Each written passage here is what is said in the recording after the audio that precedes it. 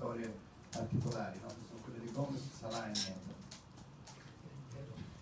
È vero, oggi abbiamo giocato in maniera un po' diversa dal solito, eh, ma dentro, dentro l'organizzazione di squadra, che è difensiva, che la condivisione e la coesione del gruppo sono, sono diverse, ci metterei anche Milan forse, no? Sì, sì, sì, Eh, eh, quindi c'è grandissima soddisfazione anche per questo, chi per un motivo o più per un credo che tutti siano stati protagonisti, oggi penso anche a Dilani che ha giocato con difficoltà fisiche, ce, ce ne sarebbero tante di, di storie dentro, dentro questa partita. Cioè, ripeto, eh, faccio complimenti a tutti i ragazzi, anche quelli che erano fuori dalla lista perché erano partecipi con noi prima, durante le penalità, eh, nell'intervallo, ma anche, anche a fine partita. Quindi sono particolarmente soddisfatto